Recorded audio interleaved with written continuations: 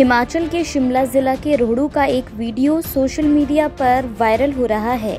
Video में देखा जा सकता है कि सड़क किनारे मोबाइल पर बात करते जा रहे युवक ने अचानक पैर एचआरटीसी बस के अगले टायर के नीचे दे दिया। पिछला टायर भी पैर पर चढ़ गया। युवक के पैर पर चोट आई है।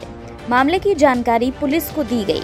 पुलिस ने जब सीसीटीवी फुटेज खंगाली तो पता चला कि युवक ने खुद पैर बस के टायर के नीचे दिया है। अब सवाल ये है कि युवक ने जानबूझकर ऐसा किया या फिर फ़ोन सुनते सुनते भूल गया और बस रोकने के लिए हाथ की बजाय पैर आगे कर दिया। आप भी वीडियो देखें और कमेंट कर बताएँ कि युवक ने ऐसा क्यों किया होगा। हिमाचल से जुड़ी हर बड़ी अपडेट के लिए बने रहिए E W N twenty news के साथ।